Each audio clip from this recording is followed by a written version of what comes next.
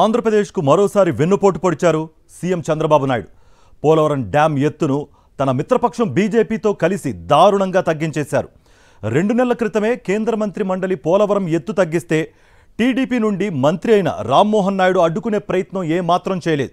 రెండు నెలలుగా ఎత్తు తగ్గింపు విషయం బయటకు పొక్కనేయకుండా చంద్రబాబు నాయుడు అత్యంత గోప్యత పాటిస్తున్నారు. పోలవరం ఎత్తు తగ్గింపుతో ఏ లక్ష్యంతో అయితే దివంగత ముఖ్యమంత్రి వైఎస్ రాజశేఖర రెడ్డి పోలవరం ప్రాజెక్టుకు శ్రీకారం చుట్టారో ఆ లక్ష్యానికే తూట్లు పొడిచినట్లయింది. నీటి సామర్థ్యం బాగా తగ్గిపోవడంతో రైతులకు తీవ్ర నష్టం వాటిల్లనుంది.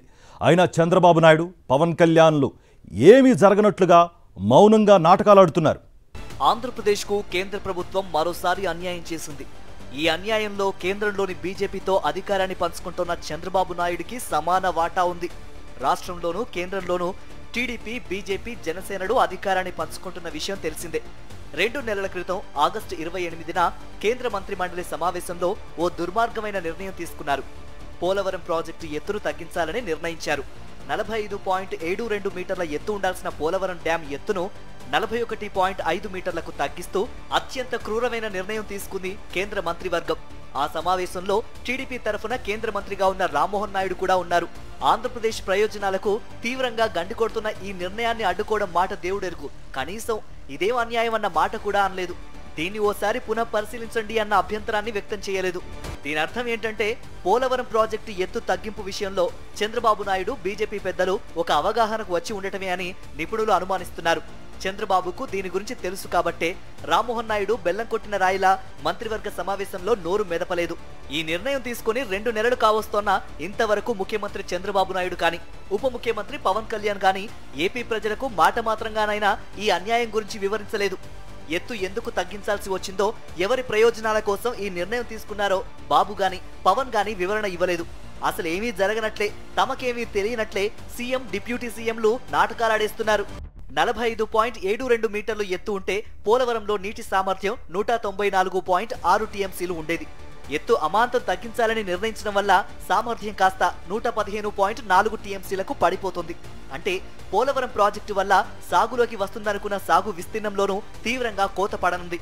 ఇది లక్షలాది మంది రైతుల నోట్లో మట్టి కొట్టడం ఖాయం. ఆంధ్రుల జీవనాడి పోలవరం.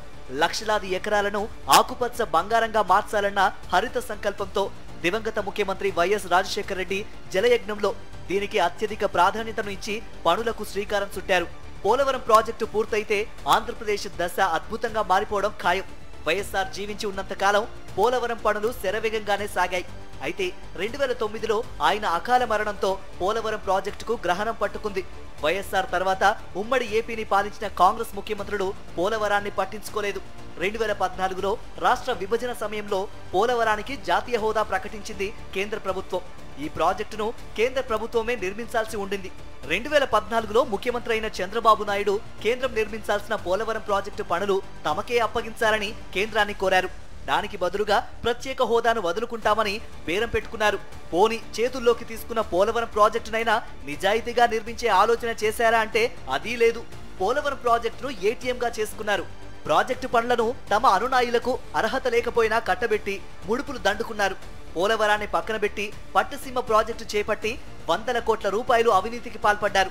రెండు వేల పద్దెనిమిది కల్లా పోలవరం పూర్తి చేస్తానని చెప్పి చివరికి చేతులెత్తేశారు. రెండు వేల పంతొమ్మిదిలో జగన్మోహన్ రెడ్డి ముఖ్యమంత్రి అయిన తర్వాతనే పోలవరం ప్రాజెక్టు పనులకు ఊపు వచ్చింది. ఆయన ప్రత్యేక శ్రద్ధ తీసుకుని పోలవరం ప్రాజెక్టు పనులను పర్యవేక్షించడంతో ప్రాజెక్టులో సింహభాగం పనులు పూర్తయ్యాయి. అయితే చంద్రబాబు నాయుడు ప్రభుత్వం చేసిన తప్పిదాలు పోలవరానికి శాపం కావడంతో బాబు చేసిన తప్పులను సరిదిద్దాల్సిన బాధ్యత కూడా జగన్మోహన్ రెడ్డి ప్రభుత్వంపై పడింది. అయినా వాటిని పకడ్బందీగా పూర్తి చేసుకుంటూ వచ్చారు జగన్మోహన్ రెడ్డి. అప్పట్లో పోలవరం పనులు వేగంగా జరుగుతూ ఉంటే అసూయపడ్డ చంద్రబాబు నాయుడు ప్రజల దృష్టిని మరల్చడానికి పోలవరం ఎత్తును జగన్మోహన్ రెడ్డి తగ్గించేస్తున్నారంటూ విష ప్రచారం మొదలుపెట్టారు. అయితే అందులో వాస్తవాలు లేవని జగన్మోహన్ రెడ్డి సాక్ష్యాధారాలతో సహా ప్రజల ముందు ఉంచడంతో చంద్రబాబు మౌనంగా ఉండిపోక తప్పలేదు. ఇప్పుడు అదే చంద్రబాబు బీజేపీతో కలిసి పోలవరం ఎత్తు తగ్గించే కుట్రకు తెగబడ్డారు. కేంద్ర మంత్రివర్గం పోలవరం ఎత్తు తగ్గిస్తూ ఉంటే టీడీపీ నేతలు ఎందుకు ప్రశ్నించలేదని సిపిఐ నిలదీస్తోంది. ఎన్డీఏ భాగస్వాములుగా ఉన్న చంద్రబాబు నాయుడు పవన్ కళ్యాణ్ ఇద్దరూ కూడా రాష్ట్రానికి ఇంత అన్యాయం జరుగుతూ ఉంటే నోరు మెదపడం లేదు.